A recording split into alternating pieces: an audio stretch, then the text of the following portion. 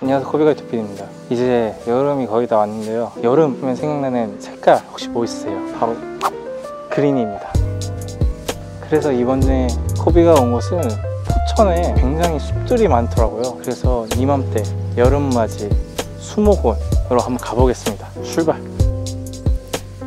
첫 번째로 온 곳은 국립수목원입니다. 여기는 오기 위해서는 일단은 예약을 먼저 하셔야 돼요 평일이나 주말에 하지만 이 현장에서 들어올 수 있는 제한적인 인원도 있다고 하니까 일찍 오시면 예약을 하지 않아도 들어오실 수 있을 것 같아요. 그리고 제가 6월에 이 수목원을 택한 이유는 사실 7월 8월은 너무 덥고 이제 벌레가 많고 여기 보면 뱀도 나오고 또 매미가 있으면 고요하지가 않기 때문에 그런 점을 생각해서 6월에 오는 게 좋지 않을까라고 생각을 했고요. 여기는 함부로 모든 거를 다 보려고 하지 마세요 왜냐하면 진짜 너무 넓습니다 이거. 연구 목적으로 만들어진 것도 있어서 정말 가지각 지역에 그 수목과 나무와 막 꽃들 모든 게 다 있거든요. 그러니까 여기서 없는 거는 거의 우리나라에 없다고 보면 돼요.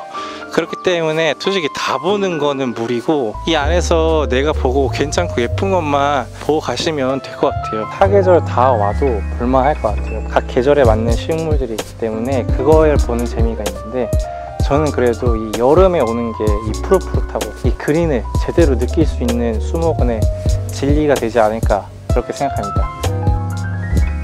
만들어진 대로 시계 방향으로 도는 게 저는 좋은 것 같아요. 그래서 앞에서는 약간 작은 것들 위주로 보고 이 넘어와서는 나무들 위주로 보면은 구경하시는데 옳은 방향이 같거든요. 그리고 이 나무들 구경할 때 특이점이 하나 있는데 한번 여러분도 구경하면서 이 포인트에 집중해 보세요. 이게 나무가 달라지면 향이 달라져요 향이. 그래갖고 걸어가는데 나무가 달라질 때마다 향이 달라져서 정말 신기하거든요. 그래서 그 향을 꼭 한번 그 맡아보세요. 돌아다닐 때 꼭. 그리고 여기 앉아서 쉴 공간이 정말 많거든요. 그러니까 중간중간에 앉으면서 피톤치드가 여기만큼 많이 쓸 수 있는 곳이 있을까 생각할 만큼 정말 공기가 깨끗하니까 꼭 여유를 즐겨보세요. 평강식물원이라는 곳인데요. 와 이렇게 포인트가 진짜 있어야 됩니다. 여기는 확실히 들어오자마자 여기가 하이라이트여서 여기에서 사람을 끌어들이는 포인트가 있어서 더 매력적인 것 같아요 여기는 근데 입장료가 훨씬 더 비쌉니다. 8,000원이에요 8,000원. 근데 지금까지 들어왔을 때 여기만 봐도 그렇게 아깝진 않다. 그리고 여기 곳곳에 다 의자를 설치해놔서 여러 곳에서 찍, 포토스팟을 찍을 수 있는 포인트들을 만들어 놨고요. 이게 아마 5월이나 6월쯤까지도 간다고 하니까 여기 이제 와보시는 거 저는 괜찮을 것 같습니다. 투자해서 만든 곳이라 뭔가 많네요. 확실히 볼 게 많아요 쉴 곳도 있고 지금이야 누워있는데 7월 8월 되면 아마 벌레가 엄청 많아지겠죠? 그리고 이곳에서 이렇게 해가 들어올 때 여기 습지 공간을 인공적인 데크를 깔아놔서 정말 예쁜 것 같아요. 습지 지금 아무데나 햇빛인데 카메라만 갖다 대도 굉장히 예쁘고 사진이 잘 나오고 볼만 하거든요.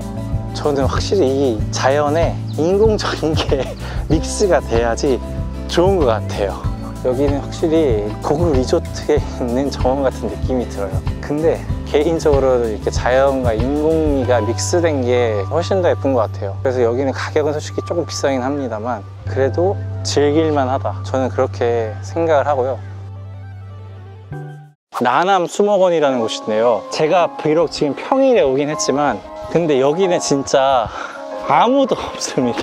그만큼 아직 유명해지지 않은 곳인데요 굉장히 조용하고요. 그리고 여기 가운데 보면은 무슨 북카페 같은 게 있더라고요. 그 안에 책들이 가득 차 있어서 여기 와서 책 읽는 것도 저는 꽤나 힐링할 수 있는 방법이라고 생각을 해요. 제가 지금 들어오면서 느꼈을 때는 여기가 조금 더 숲이 울창하고 빼곡한 느낌이 들어요. 왜 그런가 생각을 해봤더니 우리가 아까 국립수목원에서는 시야가 눈높이에서 계속 있기 때문에 울창한 느낌은 크게 들지 않았거든요 근데 여기는 처음부터 시야가 계속 위를 봐야 되기 때문에 위에서 나무들이 약간 감싸고 있는 느낌? 그런 느낌이 들어서 조금 더 울창하다는 느낌이 들어요. 그러면 제가 지금 반 정도 왔는데 한번 나머지 반도 보러 가보겠습니다. 제가 나머지 반도 돌아다녀 봤는데요. 여기는 진짜 그냥 생숲이야, 생숲, 낡아진 숲. 그래서 지도에는 길이 있는데 이게 들어가야 되나 말아야 되나 할 정도로 고민은 된 길이 굉장히 많았고요. 이게 6,000원이라는 입장료를 지금 받고 있어요. 솔직히 맞는 가격인가 라고 생각이 드는 숲이네요.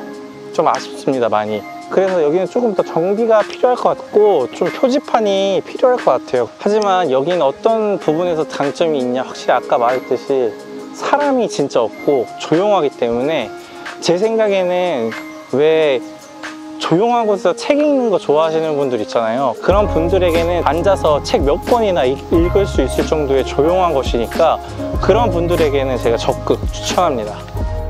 제가 지금 세 곳에 포천에 있는 식물원을 갔다 왔는데 세 곳을 한 문장씩으로 평가하자면 볼 게 많은 건 국립식물원, 보기 좋은 건 평강식물원, 그리고 정말 조용한 곳은 나남식물원.